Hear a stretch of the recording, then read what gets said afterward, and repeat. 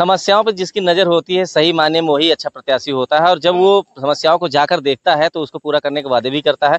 तो मैं जब भ्रमण पे हूँ, माहौल क्या है जानने के लिए गाँव गाँव घर घर जा रहा हूँ चौक चौराहे के अलावा गाँव में भी एंट्री करता हूँ तो वहाँ की समस्याएँ जब नज़र आती है तो मुझे बड़ा दुख होता है। लेकिन खुशी इस बात से होती है कि जब प्रत्याशी मिल जाते हैं कोई, कि वो भी भ्रमण कर रहे हैं हमारी तरह तो अभी मैं भ्रमण पे हूँ विश्वनाथगंज में, मांधा तक पास था तो मैम मिल गई और आपसे जानना चाहेंगे कि जिस तरीके से हम दर दर की देख रहे हैं कि क्या क्या समस्याएँ आपको भी नज़र आ रही होंगी।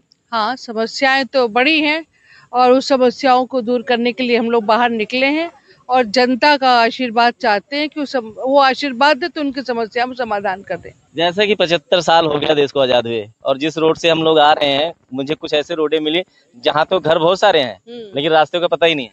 अब ये भी बात हम यही कह रहे थे कि संविधान का क्या है कि संविधान को अभी तक कोई हमारी जनता समझ नहीं पाई है। या कुछ रीज़न है जो राजनीतिक लोग आके यहाँ चर वो चर जाते हैं। और वो जनता थोड़े में ही अपना करोड़ों की निधि उनको गिरवी कर देती है। बिल्कुल गिरवी कर देती है पूछने वाला भी कोई नहीं कोई होता। नहीं रहता है। इसी के यही रीजन है कि जो करोड़ों कोई कुछ पैसों में कोई कुछ में उनको बहका देता है और ये नहीं जान रहा है कि ये जो बिक रहा है 200 400 रुपया ये करोड़ों की निधि हमारी जा रही है। करोड़ों की संपत्ति हम कुछ पैसों में लोगों को बांट के चले जाते जी ये उनके लिए कहा जा रहा है जो वोटर्स थोड़ा बहुत लालच में आके अपना वोट आखिरी समय में बदल देते हैं प्रत्याशी नहीं देखते। तो मैं इन्हीं मुद्दों की बात कर रहा हूँ तो क्या ऐसे वोटर्स आपको मिले जो इस बार अब उब गए हैं कि यार अब बिकना नहीं, नहीं है अब अब जो बहुत सारे वोटर ये आज बहुत ही जागरूक हो गए हैं वो चाहते हैं कि हम लोग का अपने गाँव का विकास हो, हमारे युवाओं का विकास हो। जो मुद्दा हर जगह जैसे पेपर लीक हुआ, युवा आज भटक रहे हैं, उनको कोई मार्गदर्शन देने वाला नहीं है। और जो हम कह रहे हैं, एक अपराधी जो होता है, वो एक घर या दो चार घर बर्बाद करता अगर एक नेता गड़बड़ हुआ एक राष्ट्र बर्बाद हो जाता है। बिल्कुल बहुत अहम बात है। अगर मेरे चैनल के माध्यम से बातें सुन रहे हैं तो मंथन ज़रूर करिएगा। तो क्या लगता है इस बार की आपके क्या वादे हैं कि अगर जनता आपका साथ देती है तो क्या कर स्वास्थ्य शिक्षा रोज़गार सभी चीज़ को हम ध्यान में रख के और यहाँ का विकास सभी जो पूरी ज़रूरत है आज़ादी के हम यही कह रहे हैं कि आज़ादी के बाद का पैसा कहाँ जा रहा है?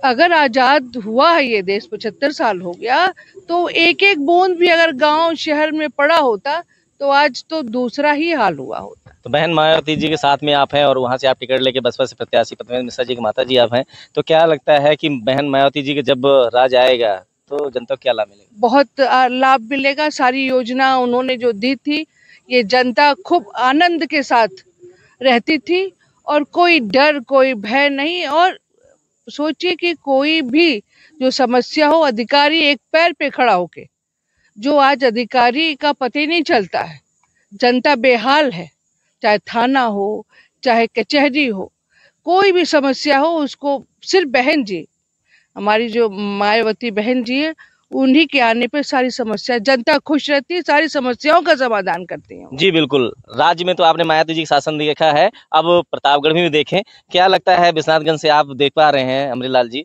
यहाँ की जनता कितना सपोर्ट कर रही है? यहाँ की जनता पूरी सपोर्ट कर रही है और इन जो जो बहरवासु प्रत्याशी आए हुए हैं कोई इनको पसंद नहीं किया जो अठारह अठारह साल रह के यहाँ कोई काम नहीं देखा कोई इनका बोर्ड भी नहीं है कोई इनका काम कोई क्षेत्र में आ ही नहीं। एक यहाँ के बॉम्बे में रहने वाले बिल्डर आए हुए हैं। ये कभी जनता के सामने इन्हीं से ज़्यादा लोग उठ चुके हैं। उठ चुके हैं। एकदम उग चुके हैं। तो विश्वनाथगंज पूरा सपोर्ट में है? पूरा बीएसपी का। बीएसपी सपोर्ट बीएसपी यहाँ बीएसपी बोल रही है आप देखें मोदी जी की रैली हुई थी। बीस बीस हज़ार से ज़्यादा जनसंख्या नहीं थी। उसमें पाँच पंद्रह हज़ार एक कर्मचारी थे पाँच हज़ार जनता थी। और बहन जी के लिए दो लाख ज़्यादा लोग जी रैली की अगर बात करें तो अपार भीड़ देखने को मिली थी। क्या कहेंगे? मायावती जी का लोकप्रियता है या वोटर चल के वोटर चल के आया था, मैं यही कहना चाहता हूँ कि मायावती के राज में सारे शासन प्रशासन बड़े खुशमय थे। जाने पर, थाने पर या कोर्ट कचहरी में बड़े आराम, आसानी तरीके से गरीबों को हर चीज़ें उपलब्ध हो जाया करती थी। हमारे बगल में एक ऐसा भी गाँव है, जिस ग्राम सभा का नाम अकारीपुर ग्राम सभा है। एक ऐसा टोला है, सन सैतालीस से देश आज़ाद हुआ है।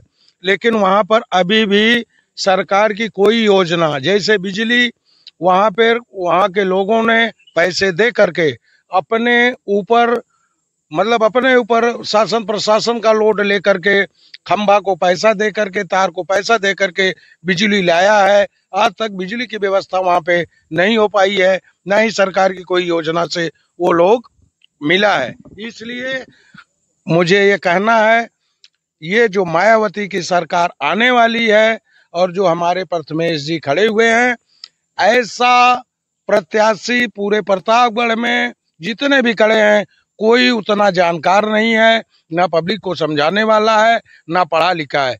इसलिए हम लोग सारे मिल करके बसपा के साथ में हैं और बहन जी के साथ में मिलकर हम लोग जो करना हो वो करने के लिए तैयार हैं। जी, बिल्कुल। तैयारियाँ बनानी पड़ेंगी और कहीं ना कहीं अगर एक बात अगर आपसे कहूँ कि लोग कहते हैं सपोर्टर्स को लेके चलते हैं, हर पार्टियाँ के अपने एक सपोर्टर्स होते हैं।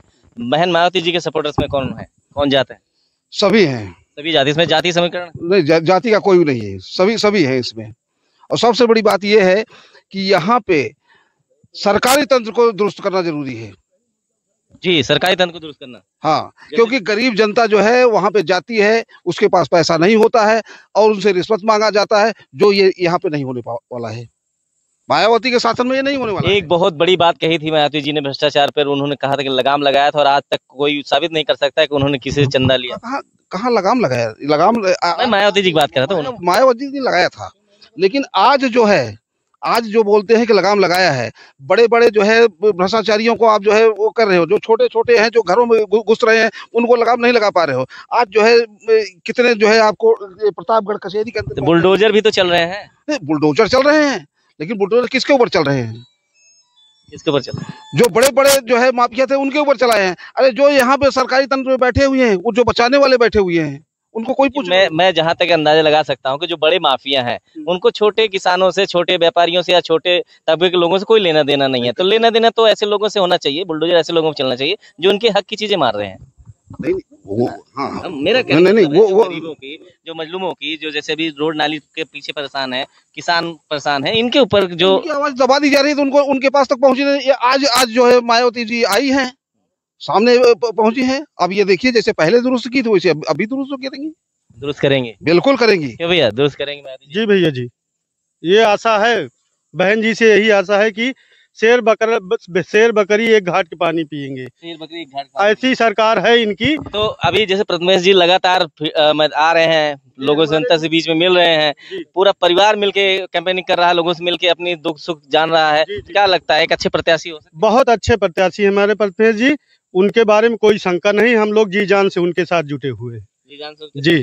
तो आपने सुना मैं कैंपेनिंग दौरान लोगों से मिला कुछ ग्रामीण हमारे साथ हैं। भैया आप लोगों से मिलने आई मैडम।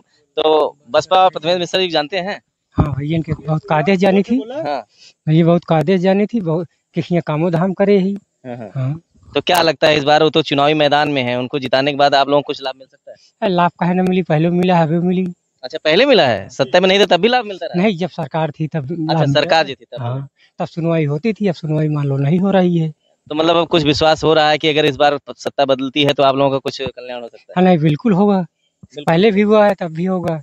जी बिल्कुल। सरकार तो बने। सरकार तो बने। तो सरकार आप ही लोग तो बनाएँगे? अरे हम हम यहाँ वोट करने जाते हैं नहीं? नहीं वोट करने जाते हैं। वोट करने जाते हैं हाँ। तो एक मत तो आपका है ही है। हाँ एक तो हमारा एक एक नहीं है पाँच है घर में पाँचों मिलेंगे। पाँचों मिलेंगे? हाँ। क्या बात है। ये जब प्रत्याशी के सामने अगर कोई ऐसी बात कर देता है दिल की बात बोल रहे हैं ना? दिल से बात बोल रहे हैं, भाई तो ये अच्छी बात है और हम भी यही माहौल जानने आए थे कि कौन किसके माध्यम से क्या चीज़ें किसको अच्छा लग रहा है और अच्छा तब अच्छा लग जाता है जब प्रत्याशी उनके बीच में मुझे पहले से उपलब्ध हो जाता है तो मैं उनसे बात करना भी तो आप सिंधुजा सेनानी जी थे जो प्रथमेश मिश्रा जी की माता जी हैं और आपने मुझसे बात की और बताया कि मायावती जी का शासन आपने देखा है आप सांसद बना के दीजिए, उसके बाद यहाँ का शासन आप देखिए और जो भी समस्याएँ हैं, उन पर इनकी नज़र है। कैमरामैन के साथ में हरकेश लाइव टीवी उत्तर प्रदेश।